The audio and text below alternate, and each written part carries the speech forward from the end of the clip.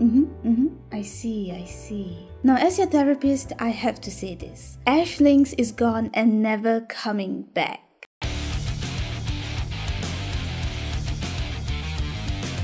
Yes, I'm sure after all these years, we've all accepted the fact that there is no moving on from his death. But what if I told you that there might be a way? Something that we haven't tried before. Maybe we can't move on because his soul is not at peace. He hasn't reached the afterworld. That's why his spirit is causing us such emotional distress. Which is why I've decided to do a dane for Ash Lynx. I don't know how to spell this, but it's something that we Malaysian Sinhalese people do for our deceased family members, where we prepare the food they enjoyed when they were alive and serve it to their photo on their death anniversary. Now, some Sinhalese people might be like, Josh, that's wrong. I'm Malaysian Sinhalese, half Sinhalese. My grandparents were born here, great grandparents born here. So Malaysian Sinhalese people, we just do things differently. I've explained this before. I may come from a Catholic family, but because we are Sinhalese, there are a few Buddhist traditions that we do since it's a part of our culture. So yeah, I'm gonna do a dane for Ash. So I did a lot of research, watched episode after episode, reliving the pain and heartbreak to prepare this dane menu. I also referred to manga panels and even examined official art for this menu. Had some of you guys helping me out through Instagram, thank you very much. I had to prepare the menu for breakfast, lunch, tea time, and dinner. And this was quite a hard task because all Ash ever ate were vegetables. No wonder he died. Oh my god, no. I'm so sorry. Now that I had my menu all set, it was time to go shopping. By the way, if there are any Sinhalese people watching this, please don't get offended. So I went to the supermarket to buy some ingredients, but I felt lost as soon as I entered because I had never gone to the supermarket before. And this was my first time shopping on my own. I immediately hid at this corner because I didn't want people to know that I was lost. To them, I look like Kevin McAllister going shopping in the first Home Alone movie. Yeah, that's what they see. But I was able to spot the cherry tomatoes. We were off to a good start. Now I had to get some sort of cabbage thingy thing thing. But these green stuff, they all look the same. What the hell? Can you feel how lost I felt? And then my eyes caught sight of another thing on the list. Yogurt.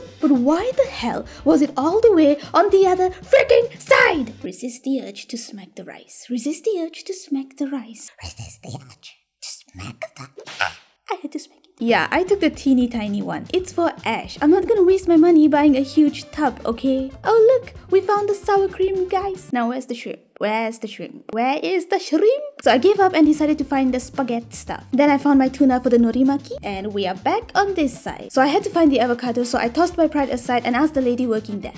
Assalamualaikum. Oh wait, she's Indian. And she was like, There, I can see from here. It's written avocado. and I'm like, there? Where? There? Where? And so I just aimlessly walked to where she pointed, all hope lost. I was losing my resolve as the clock ticked. I was never gonna find the main ingredient to Ash's favorite dish. Oh, there, found it. And then I found the salad area and I was so tempted to buy the pre-made set, but for the sake of Ash, I wanted to make it special for Ash. So I just got this random cabbage thingy thing thing. As long as it's healthy, right? Then I found the shrimp. Now, what's the difference between prawns and shrimp? Ah, and now my mindless walking continued. Mommy, I'm scared. I was now searching for the cashier. Found it. And with that, we were done. Oh, nope, nope, we had to go back. Forgot something. Time to go to the non halal area. Muslims watching this, close your eyes. Wait, is it haram to watch someone else go inside the non halal area? Imagine if this was just called the haram area.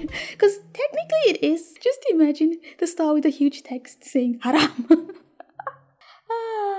Okay. Anyways, I was here to buy bacon. Bacon, bacon, bacon, bacon, bacon, bacon. And with that, we were finally done with our nope. I still had to stop by Daiso to buy that norimaki rolling thingy thing. You see, I'm not intentionally looking at people's booties. I didn't notice I was holding the camera that low. Okay, you're nasty. And I found it. This is the correct one, right? Sushi, sushi rolling set. Now I know Ash Lynx is a fictional character. Who said that? But I was gonna do this dane like a real dane. So I did everything that I used to see Achi and my mom doing for my grandfather's dane. The whole waking up early, preparing the table. Who wakes up at this time on a weekend? Now the breakfast menu was very simple. I fried him some bacon. I like bacon. So yeah, I fried him some bacon, a sunny side up egg. Now what's the difference between sunny side up and bullseye? Can someone explain? A glass of milk, a store-bought croissant, croissant, and a bowl of yogurt. Now I forgot to buy strawberries, so I used a cherry tomato. Smart, huh? Now this was all as seen in episode 18. No salad yet? Oh, and I actually forgot to buy flowers, but luckily after driving around, we came across an Indian dude and his stall. The Malaysian Indians use a lot of flowers for their religious stuff, so it's normal to see them selling flowers by the roadside. Thank God for that, because this was a last minute thing. I came home, placed the flowers in a vase, and it was time to serve breakfast.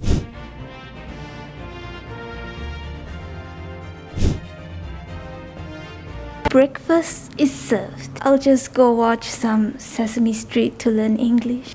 Okay, so actually we're also supposed to eat the food that was made because usually for my grandfather's dane, the house will be full because you're supposed to invite relatives, neighbors, colleagues, anyone that you can find to come over, eat the food in memory of the deceased. So, uh, bon appetit! I then started working on lunch. I started off with frying the shrimp. Aren't shrimps the cockroaches of the sea? We cringe at people eating insects, but here we are eating shrimp! Question Did Ash have an eating disorder? Because all he ever ate was salads. He was always watching what he ate. Kinda sad. So, this was my first time cutting an avocado. I had seen it being done numerous times by other humans, and I just wanted to professionally try doing it myself. Opening it up was fine. I was happy it was a success. But I couldn't take that nutty nut thing out. It wasn't coming out. In the name of Jesus, just I command you to leave! Be gone! Brambos! Aye!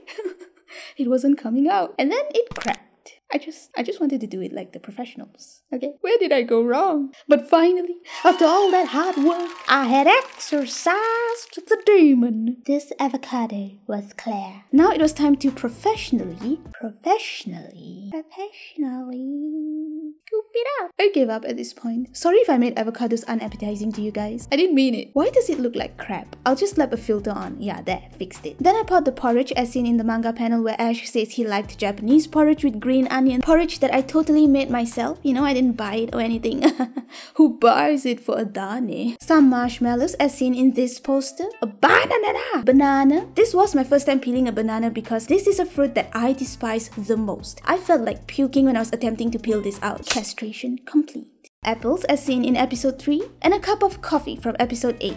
Now some of you might be wondering, what happens to the breakfast food just now, Josh? You're not gonna just waste it and throw it away. Now once again, I'm not sure how the original Sinhalese people do, but for Malaysian Sinhalese, or at least in my family, you're supposed to put it all in one plate and place it outside for the peretio to eat. Now who are the peretio?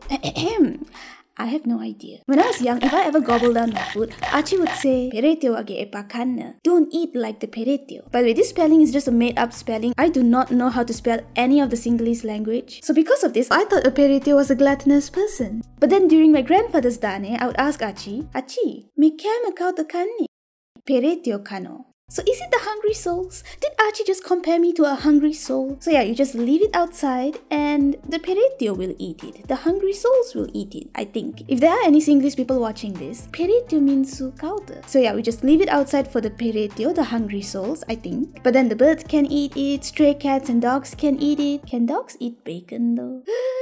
Okay, usually for a dane, you're supposed to play songs that the deceased enjoyed when they were alive, which is why I have this. Not sponsored, they just sent this to me for free, so everything that I say is my own personal opinion. So what is this? Look at this adorable packaging. Ah! I kept seeing this on Instagram on a lot of people's desks, but I actually had no idea what it was. It looked like this mini retro game thingy thing, right? But turns out this is a portable Bluetooth speaker that you can also play some of the old school games like Snake, Tetris, and all that. It can be used as an alarm clock, or to listen to internet radio stations, answer calls, and of course the cute, cute pixel art. I was planning to unbox this for another big video that I'm working on, but then I was like, I'm gonna need music for Ash's Dane, why not use this then? So it didn't take me long to figure out the functions of these keys because it's also in the manual. So this brings us to the menu, and the tiny lever is like an enter key, so if I click this, it brings me to the menu. Use the left right arrow keys to choose music, pixel art settings, alarm clock, and games. So wait, let's let's play a game. I was quite excited to play with this. I mean, I just saw this on people's desks, but when I found out what it was, it was kind of exciting.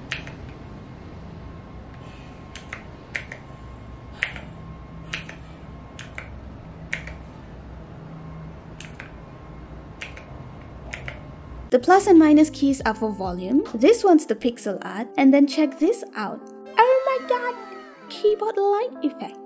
How cool! There's also an app which you can get from Play Store. Just gotta add my device. And now let's choose a pixel art. Yeah, they have a whole pixel art community. So you can choose whatever you want to see being portrayed here. Now let, let me find if there's a banana fish one. Oh, there's one of Ash. You can also create your own pixel art or animation through the app. It'll appear on the screen as you draw. This is just a lollipop, okay? You're nasty. So I decided to use an image of the Ash Nandroid and then turn it into a pixel art. Then I changed a few things up and animated his eyes. Like I said on Instagram, the only time we'll ever see him blink in this lifetime. Now for the sound check.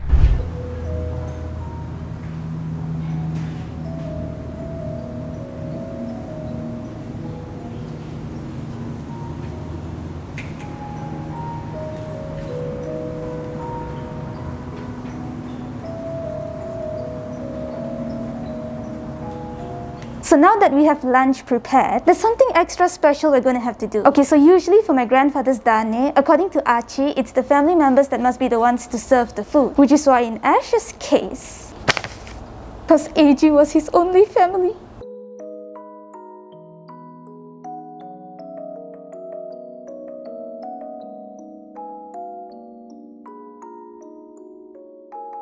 Yeah, I asked you guys on Instagram and everyone voted for the other bowl. So with lunch already served, I decided to work on tea time. I thought this was going to be the easiest, but you'll see in a second what happened. So for tea time, I decided to make norimaki as seen in episode 11. Now when I was researching for this, I got confused. What's the difference between this and the Korean kimbap? It looks the same! The feeling is also kind of the same, right? Who stole whose? Why do I make food look so unappetizing? Anyways, I was just following the recipe, but I think I put too much cause yeah, that happened. I even used the wrong side of the wooden thingy thing.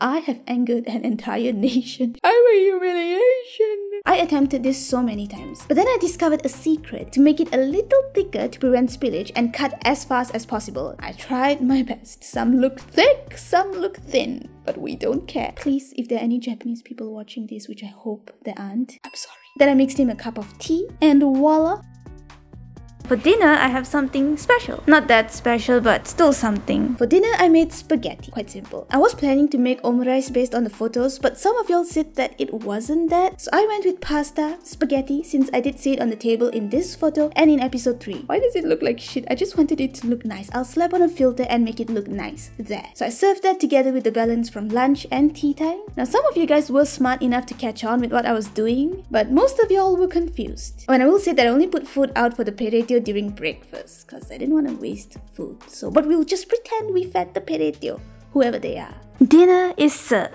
Finally. I'm so tired. I'm so full. I've been doing this the entire day. Those who follow me on Instagram are oh, aware, you know, I've been sharing snippets here and there. Now let's get to the main point of this video. The whole reason we did this dane. We went through all this trouble making the food that he liked. For what? to send him off. We want his spirit to go to the other side so that we can be in peace. How long are we going to be bound by these shackles? So the question is, did it work? Are we going to finally move on? Will his spirit leave us alone? You know what? I think I just made it worse.